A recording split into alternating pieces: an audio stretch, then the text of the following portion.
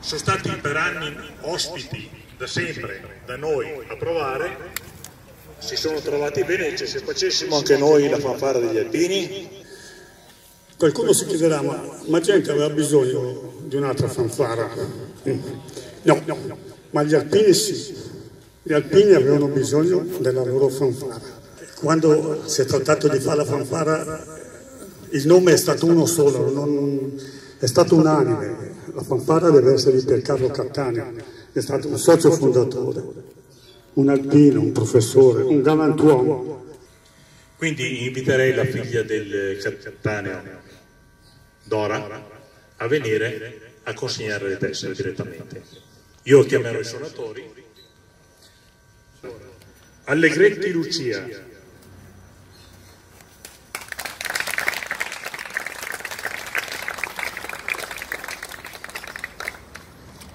Anicelli Franco.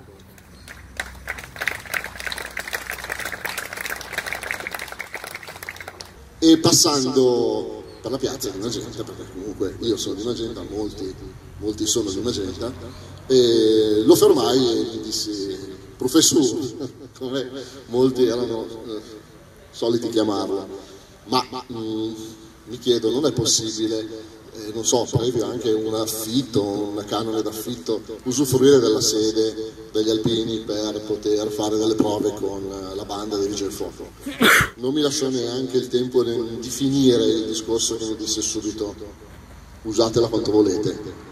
Gli dissi, beh, ma c'è da comunque contattare, sentire la, la, la segreteria, la, l'associazione, i soci, insomma, cioè, non mi sembra assolutamente no. È come se fosse casa vostra. E un grazie in particolare al, al gruppo degli alpini per l'affetto dimostrato nei confronti di papà e per uh, questo riconoscimento che gli è stato attribuito. Grazie ancora.